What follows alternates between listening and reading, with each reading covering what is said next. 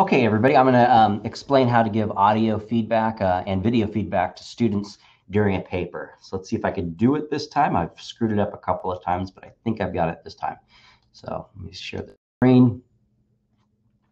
There we go. So I'm going to go to the grade book, click Full Grade Center. Here we go. I'm going to go here to where the student submitted the paper. I've already graded it. That student, one of the worst I've seen, um, has already got a zero on this because it was supposed to be a one-page paper and they only submitted a sentence. So I'm going to click here into where the score is. It opens up the feedback thing. I'm going to click this little icon right here, which just opens up the editor for feedback. So you can do all sorts of things in there. But for here, what we're going to do is we're going to click the microphone icon. And then we are going to wait for it to load. And I'm going to open up the camera and say something to the student.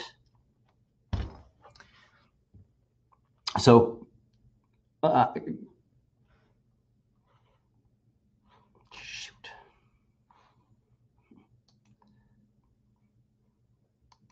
Okay, sorry. So I'm giving feedback to the student. Uh, please submit something more than a sentence. Anyway, so I'm going to click stop. And then I'm going to save and exit. You can name it, or you just keep the name there, feedback. Insert recording. And submit. And then submit again down here and away it goes. And so let's go see what the student does now. So if I was the student, I would say, okay, I submitted my paper last night. I'm going to see what I need. Oh, I got a zero on it. So I'm going to check. Oh, he gave me some feedback. Good.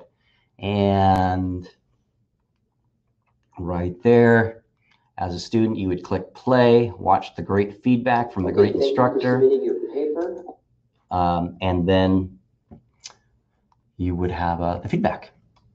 So that's how that works. So yes, we don't have um, Ultra, so um, this is how it works for our system.